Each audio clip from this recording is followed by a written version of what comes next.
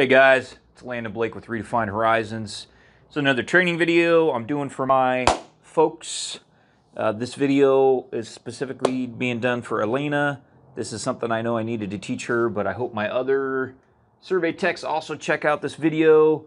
So this is a video that's going to teach you a little bit about boundary surveying. In this specific video, we are going to talk about the county surveyor map index and the tax assessor land records. So we're going to answer these four questions. Why do we care? Why are we even talking about this? Why is it important? Who is this county surveyor guy or gal? And what do they do? What is the county surveyor map index?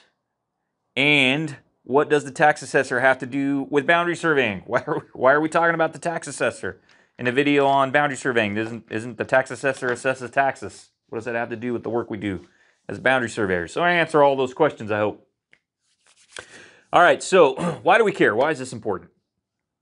It's important because the County Surveyor Map Index and the Tax Assessor Land Records are really important tools, at least in California, for boundary research. And boundary research is a really important part of the boundary resolution process. So you can't do a good boundary survey if you haven't evaluated all the available records you, land records. You can't evaluate all the available land records unless you have done good research. And in California, you can't do good research unless you've checked both the County Surveyor Map Index and the Tax Assessor land records. Okay, so there's a there's a chain of dependencies there. You cannot do a good boundary survey in California if you haven't looked at these two things, the County Surveyor Map Index and the Tax Assessor land records, and I will explain why in this video. So that's why we care. It's important. We can't do a good job as boundary surveyors if we don't know how to use these two tools. Okay, so who is this county surveyor person? And uh, what's their job and what do they have to do with this map index? Okay, so in California, every county has a county surveyor. In larger counties, that will actually be an employee of the county government. Um, in smaller counties, it will probably be a private surveyor that's been contracted to fill that role. Uh, county surveyors do lots of different things, but one of the main things they're required to do under the law um, in fact, I, you could say this is the most important job and the only job they are required to do under law is they are to maintain an index of the survey maps in the county. Okay, so in that way, they are somewhat like the clerk and recorder, right? The clerk and recorder keeps an index and copy of all the deeds that get filed in the county. The county surveyor keeps a copy of and an index of all the maps that get filed in the county. Okay, so that is the main purpose of a county surveyor in California. It's actually in state law. Now, like I said, county surveyors do some other things. They review records of survey, corner records, parcel maps, subdivision subdivision maps. Uh, they will check legal descriptions for lot line adjustments.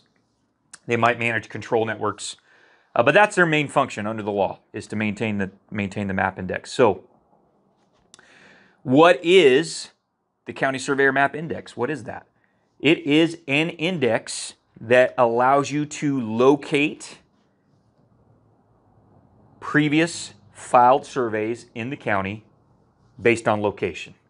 So uh, that's a requirement of the law. The, the law says the county surveyor has to keep an index and it has to be geographic. Okay, so he can't just keep a list of surveys filed by date or by name of the surveyor. That the index has to have a geographic component.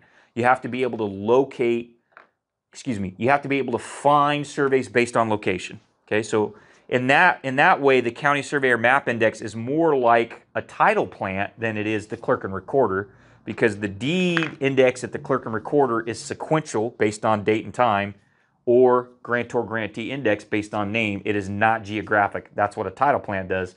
A title plant bolts on a geographic index to the information at the clerk and recorder. So you don't have to do that with the County Surveyor Map Index because in California it's required to be geographical by law. Okay. Now I'm gonna I'll do another video and we'll talk about two or three different kinds of County Surveyor Map Indexes because there's different ways that, that this can be done. Every county is a little bit different. Some ways work better than other ways. Um, so we'll do another video and talk about some of the different kinds of County Surveyor Map indices or indexes. Okay.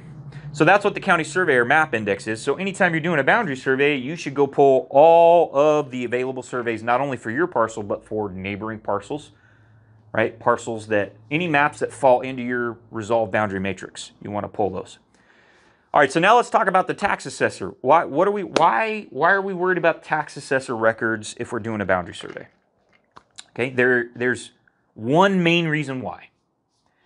Okay, and that is because in order to do a good boundary survey, you need the current deed for your parcel and you need the current deeds for all the adjoining parcels.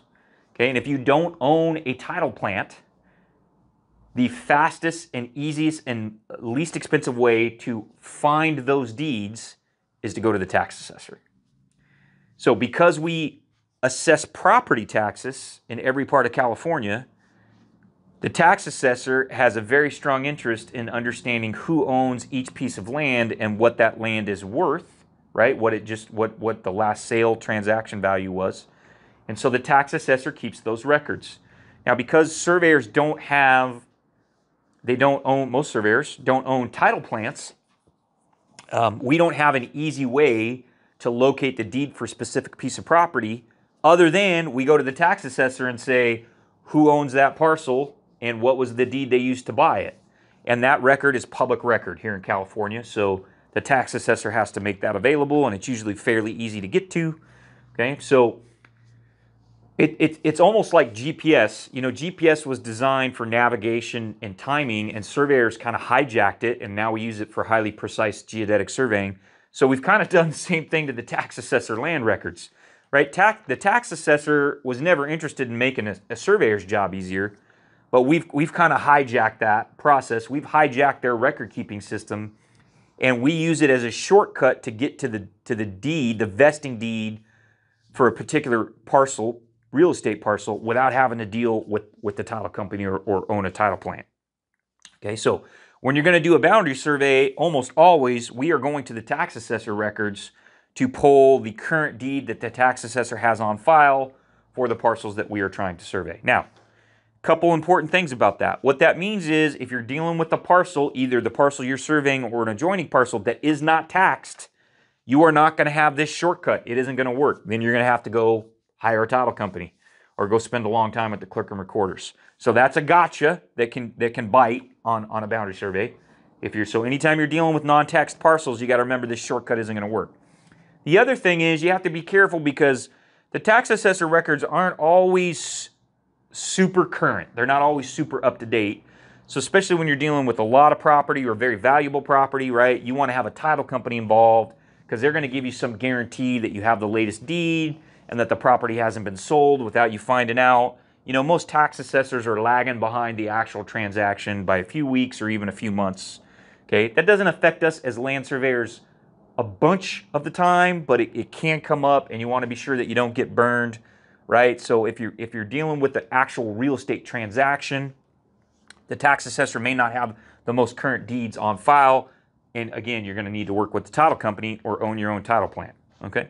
So that's just a brief introduction to why boundary surveyors need to know about the County Surveyor Map Index and the tax assessor land records. Uh, this general concept applies across the United States, but as an example, I'm licensed in Nevada. Nevada doesn't have county surveyors. So in, the, in that state, uh, the clerk and recorder and the tax assessor actually maintain the map index. There is no county surveyor. So this is going to be a little bit different state to state, but the concepts apply, right? Just to review, why do we care? These two things are important boundary research tools. Who's the county surveyor? That's the person in California that has the legal responsibility to maintain the surveyor map index. What does the surveyor map index do? It allows you to locate surveys by geographic, find surveys by geographic location. Okay, and why do surveyors care about the tax assessor land records?